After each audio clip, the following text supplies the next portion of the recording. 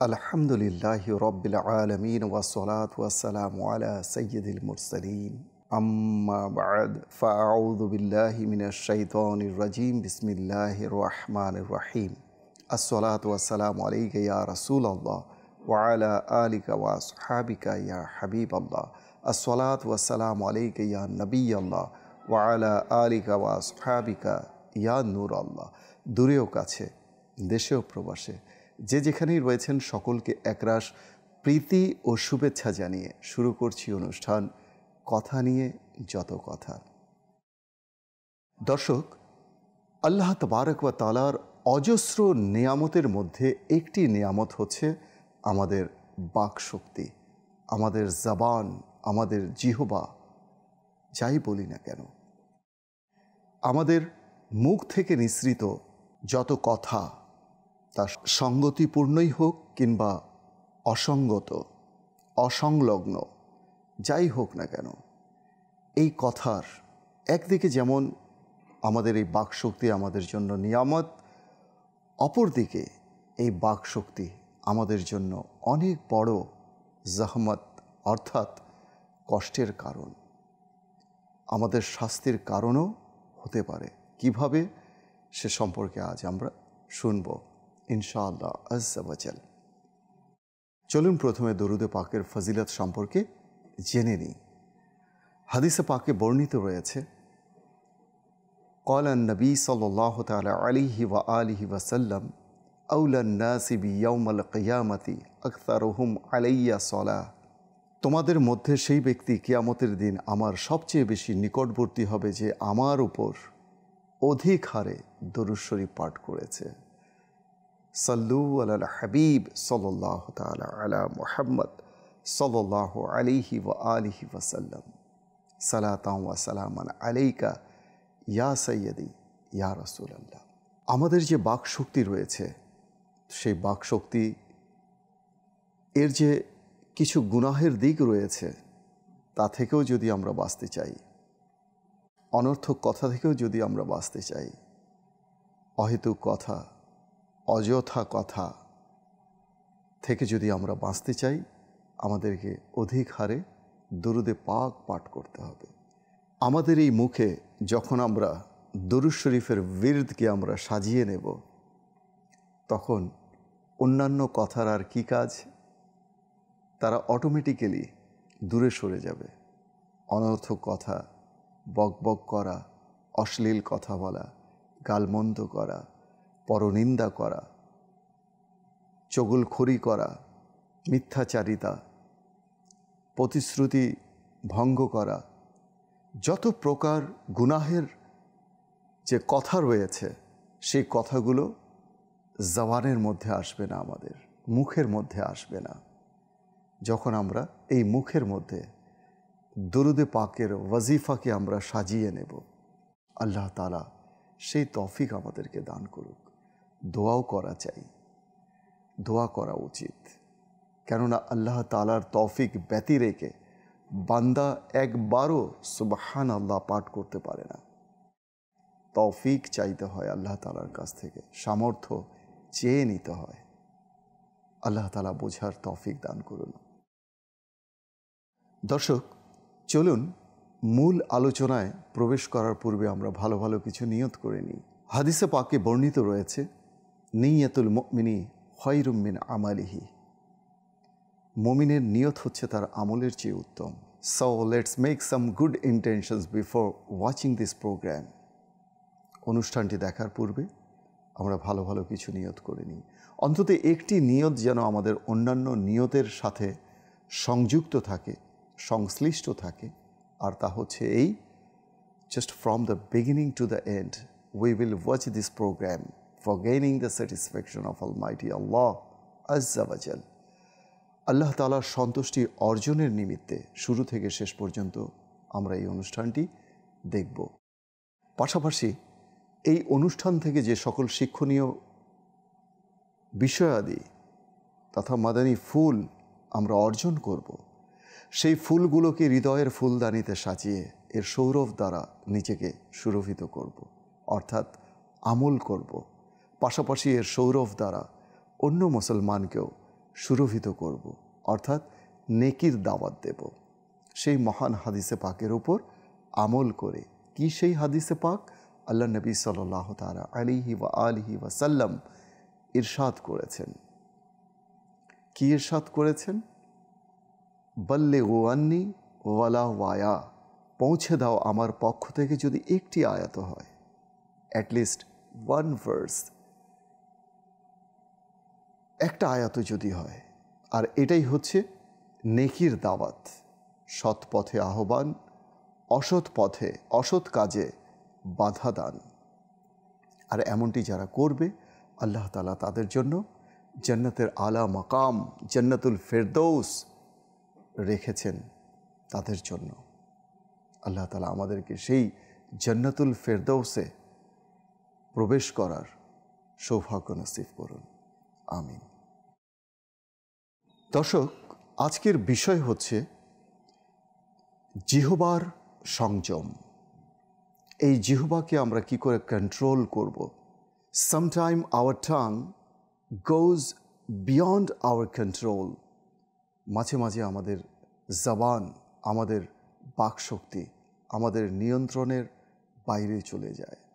আমরা একটু চেষ্টা করলে এই জবানের মাধ্যমে কিছু নেকি অর্জন করে, কিছু পুণ্য অর্জন করে আমরা জান্নাতে যেতে পারি। আবার একটু উদাসীনতার কারণে, একটু অবহেলার কারণে, গাফিলতির কারণে, এই জবানের স্বেচ্ছাচারিতার কারণে, এই জবানের কারণেই আমাদেরকে যেতে হবে জাহান্নামে। এই দুটি বিষয়কে মাথায় রেখে আজকে আমরা যে আলোচনা করব তা হচ্ছে জিহবার সংযম। জিহবাকে কি করে? কন্ট্রোল করা যায়, সংযত করা যায়। কখন, কোথায়, কীভাবে? কখন কথা বলব?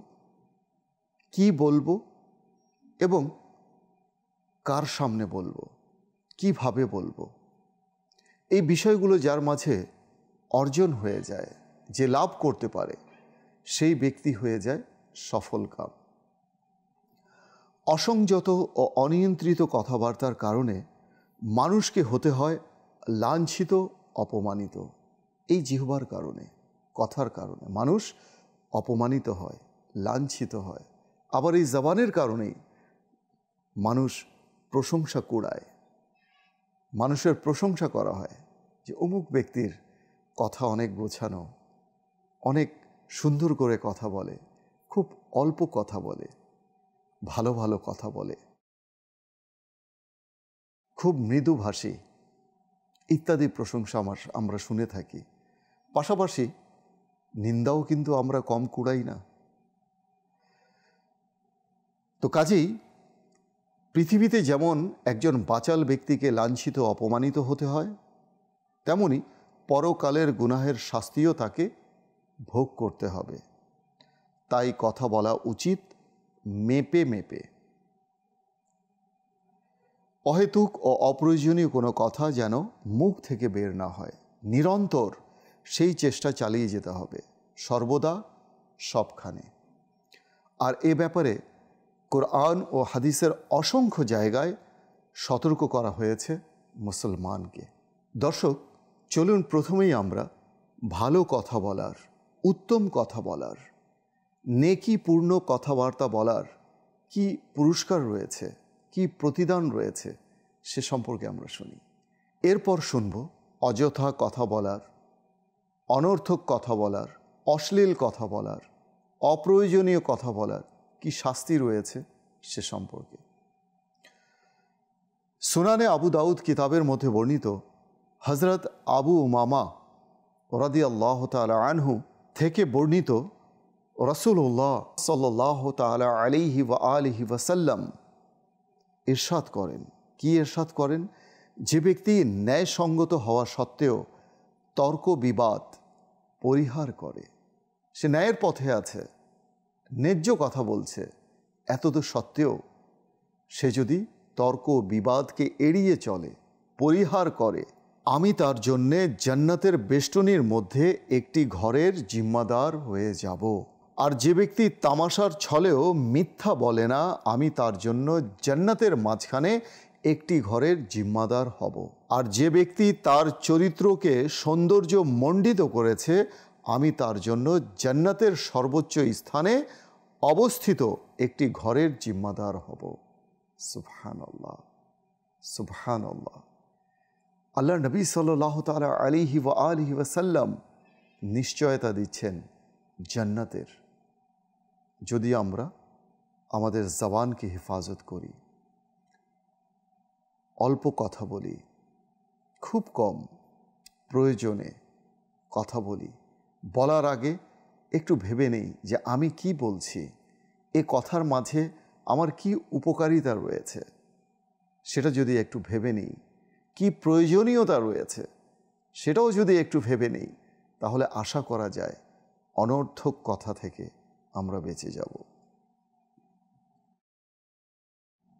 আলোচ্য হাদিসে পাকে নবী করিম সাল্লাহ তালা আলিহি ওয়া আলহি ওয়াসাল্লাম মমিনদের বাক সংযমে উদ্বুদ্ধ করেছেন, উৎসাহিত করেছেন, অনুপ্রাণিত করেছেন। বিশেষত তিনি তর্ক বিবাদ পরিহার এমনকি হাসির ছলে, তামাশার ছলে, ঠাট্টার ছলে মিথ্যা বলা থেকেও বিরত থাকার নির্দেশ দিয়েছেন। মুমিন ভালো কথা ও জিকিরের মাধ্যমে তার জিহবাকে যেন সজীব রাখে। এ প্রসঙ্গে হাদিসে পাকে রয়েছে হজরত সঈদুনা আবদুল্লাহ ইবনে বুসর রদি আল্লাহ তালা আনহু হতে বর্ণিত এক লোক এসে বলল, ইয়া রসুল আল্লাহ আজ্জাবাজাল্লাহ ওয়াসাল্লাহ তালা আলিহি ওয়া আলিহি ওয়াসাল্লাম আমাকে এমন কোনো একটি বিষয় বলে দিন যা আমি শক্তভাবে আঁকড়ে ধরে রাখতে পারি। তদুত্তরে আল্লাহ নবী সাল্লাহ তালা আলিহি ওয়া আলিহি ওয়াসাল্লাম ইরশাদ করলেন। কি এরশাদ করলেন? লায়াজালু লিসানুকা রতবান মিং দিক্রিল্লাহ as if your tongue always be wet with the remembrance of Allah almighty সর্বদা তোমার জিহবা যেন আল্লাহর জিকিরে সিক্ত হয়ে থাকে। কেমন আমল? আল্লাহ নবী সাল্লাহ তালি আলী সাল্লাম ইরশাদ করলেন। অল দ্য ওয়াইল সব সময়। আল্লাহ তালার স্মরণে, আল্লাহ তালার জিকিরে তোমার জিহবা যেন সিক্ত হয়ে থাকে, ভেজা থাকে। এই যে আমল, এই আমলের মাধ্যমে একজন মানুষ, সে অন্যান্য গুণা থেকে বেঁচে যায়। জবানের যে গুণা রয়েছে, অনেক গুণাই তো রয়েছে, আমরা জানি। পরনিন্দা, চগলখড়ি, মিথ্যাচারিতা, ওয়াদা, ভঙ্গ করা, তারপর গালমন্দ করা, মানুষকে হুমকি ধামকি দেয়া, মুসলমানের মনে কষ্ট দেয়া ইত্যাদি বিষয়াদি থেকে মানুষ সুরক্ষিত থাকবে। যদি সে সর্বদা জিক্রুল্লাহর মাধ্যমে নিজের জিহ্বাকে সিক্ত করে রাখে। দরুদে পাকের কসরতের মাধ্যমে, চর্চার মাধ্যমে যদি জিহ্বাকে সিক্ত করে রাখে, তসবিহ, তাহলিলের মাধ্যমে যদি নিজের জিহ্বাকে সিক্ত করে রাখে। কোরআন তিলাবাতের মাধ্যমে যদি নিজের জিহ্বাকে সিক্ত করে রাখে। নেকির দাওয়াতের মাধ্যমে যদি নিজের জিহ্বাকে সিক্ত করে রাখে। কোরআন ও হাদিসের দর্শ বয়ানের মাধ্যমে যদি নিজের জিহ্বাকে সিক্ত করে রাখে। মানুষকে সদুপদেশ দেয়ার মাধ্যমে নিজের জিহ্বাকে যদি সিক্ত করে রাখে। দর্শক, যারা কথায় কথায় শপথ করে, দেখবেন সমাজে এমনই কিছু মানুষ আছে, খোদার কসম, আল্লাহর কসম, কথায় কথায় বলে বেড়ায় প্রয়োজনেই হোক কিংবা অপ্রয়োজনে। নিজেকে সত্য হিসেবে প্রমাণ করতে গিয়ে যদিও সে মিথ্যা বলছে, তারপরও মিথ্যাচারিতার মাঝেও থেকেও সে কসম করছে। এমনও মানুষ সমাজে আছে। তাদের ব্যাপারে সুরা কালামের মধ্যে আল্লাহ তালা কি এরশাদ করছেন? শুনুন। আল্লাহ তালা এরশাদ করছেন, অনুসরণ করো না, তার যে কথায় কথায় শপথ করে। যে লাঞ্ছিত, পিছনে মানুষের নিন্দাকারী, যে একের কথা অপরকে লাগিয়ে বেড়ায়, অর্থাৎ চকুলখড়ি করে, পরচর্চা করে, পরনিন্দা করে, আর কথায় কথায় শপথ করে এমন মানুষকে অনুসরণ করতে স্বয়ং আল্লাহ তালা নিষেধ করেছেন। বর্তমান সমাজে এমন মানুষ আছে কি না যারা কথায় কথায় মিথ্যা বলে, আমরা দেখছি যারা কথায় কথায় মানুষের পরনিন্দা করে, পরচর্চা করে, একটু সুযোগ পেলেই ব্যাস শুরু হয়ে যায়। এমন মানুষের সংস্রব থেকে, সান্নিধ্য থেকে আমাদের দূরে থাকতে হবে। যারা চগলখড়ি করে, কথায় আছে, অন্যায় যে করে আর অন্যায় যে সহে তব ঘৃণ তারে যেন তৃণ সমদহে অন্যায়কারীও যেমন অপরাধী, অন্যায়কে প্রশ্রয় দাতাও কিন্তু সমান অপরাধী। তো যারা পরনিন্দা করে, পরচর্চা করে, এদেরকে নিরুৎসাহিত করতে হবে। যে তুমি অন্য কোনো কথা বলো, পরচর্চা করো না, পরনিন্দা করো না, আমি শুনতে চাই না, তুমি অন্য কোনো কথা বলো। আমরা যদি একটু ভালোভাবে তাকে বুঝিয়ে বলি চকুলখড়ি করো না। আল্লাহকে ভয় করো। সেই ব্যক্তি দেখবেন, সে আর কখনো আপনার কাছে অন্যের চর্চা করবে না চগুলখড়ি করবে না, মিথ্যা শপথ করবে না, যখন একবার আপনার মাধ্যমে নিরুৎসাহিত হবে। করে তো দেখুন, কাল কেয়ামতের দিন এমন যেন না হয়। যে অন্যায়কে প্রশ্রয় দেওয়ার কারণে আমাদেরকেও জাহান্নামে যেতে হয়, এমন যেন না হয়। আল্লাহ তালা বোঝার তফিক দান করুন। দর্শক, সমাজে এমনও কিছু মানুষ আছে যারা মানুষকে অভিসম্পাত করে থাকে বদোয়া দিয়ে থাকে, অভিশাপ করে থাকে, এমনও মানুষ আছে। তাদেরকেও বোঝাতে হবে। নিরুৎসাহিত করতে হবে। অধৈর্য হয়ে মানুষ মানুষকে অভিশাপ দেয়। চলুন, তাদের ব্যাপারেও আমরা কিছুটা জেনে নেই কি বলা হয়েছে হাদিসে পাকে। মানুষকে অভিশাপ করা যে নিন্দনীয় কাজ, এটা আমরা সবাই জানি। যে ব্যক্তি মানুষকে বেশি বেশি অভিশাপ করে, কথায় কথায় অভিশাপ করে, অভিসম্পাত করে অভিশাপ দেয়। আল্লাহ পাক পরকালে তাদের সুপারিশ ও সাক্ষ্য গ্রহণ করবেন না। আল্লাহ নবী সাল্লাহ তালা আলিহি ওয়া আলহি ওয়াসাল্লাম ইরশাদ করেন মুসলিম শরীফের হাদিস। কথায় কথায় অভিশাপকারী কিয়ামতের দিন সুপারিশকারী ও সাক্ষ্যদাতা হবে না। কাল কিয়ামতের দিন আল্লাহ তার সাক্ষ্য গ্রহণ করবে না, তার সুপারিশও গ্রহণ করবে না। আল্লাহ তালা আমাদেরকে বোঝার তফিক দান করুন। সমাজের মধ্যে অহরহ আমরা এই জবানের কারণে মানুষের সাথে অযথা তর্ক, বিবাদে আমরা কিন্তু জড়িয়ে যাই। কোনো প্রয়োজন নেই। সহনশীলতার অভাব, ধৈর্যের অভাব, একটু কেউ যদি আঘাত করল, একটু কি আঘাত করল, একটু পায়ে পাড়া দিল, একটু ধাক্কা লাগল একটু গায়ের সাথে গা ধাক্কা লেগে গেল। অমনি শুরু হয়ে যায় গালমন্দ করা, বকাবাদ্য করা, বকাবাজি করা, তিরস্কার করা হুমকি ধামকি দেয়া। এগুলো কি কোনো মুসলমানের বৈশিষ্ট্য হতে পারে? না। তর্ক ও বিবাদ মানুষকে সত্য ও সুপথ থেকে দূরে সরিয়ে নিয়ে যায়। আল্লাহ নবী হুজুরে আরবি সাল্লাহ তালা আলিহি ওয়া আলিহি ওয়াসাল্লাম এরশাদ করেন, কোনো সম্প্রদায় সুপথ পাওয়ার পর আবার বিপথগামী হয়ে যায়, তা শুধু তাদের বিবাদ ও বাঘ বিতণ্ডতায় জড়িত হওয়ার কারণেই হয়ে থাকে।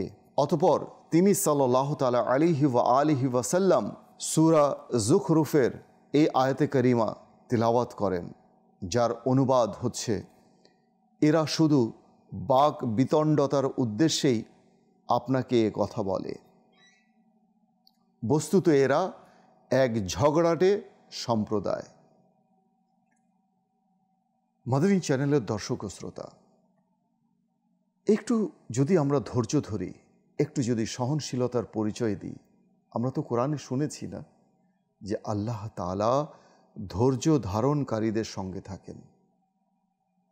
তো আমরা যদি একটু যদি সবাব পেতে চাই, একটু পুণ্য অর্জন করতে চাই, তাহলে আমাদেরকে ধৈর্য ধারণ করার প্র্যাকটিস করতে হবে, চর্চা করতে হবে। মনে রাখবেন, নেক কাজের জন্য, সৎ কর্মের জন্য মানুষকে অনুশীলন করতে হয়, কিন্তু গুনাহের কাজের জন্য কোনো অনুশীলন করতে হয় না। আল্লাহ পাক আমাদেরকে, আমাদের জিহবার অসংলগ্ন কথাবার্তা থেকে, অশ্লীল কথাবার্তা থেকে, অযথা অনর্থক কথাবার্তা থেকে আমাদেরকে হেফাজত করুন। আমিন। দর্শক, দেখতে দেখতে অনুষ্ঠানের একেবারে শেষ পর্যায়ে চলে এসেছি। দেখা হবে পরবর্তী এপিসোডে আরেকটি বিষয় নিয়ে। সে পর্যন্ত সবাই ভালো থাকুন। সুস্থ থাকুন আর মাদারি চ্যানেল দেখতে থাকুন। সল্লু আল হাবিব সাল্লাহ তালা আলা মুহাম্মদ সাল্লাহ আলাইহি ওয়া আলিহি ওয়াসাল্লাম।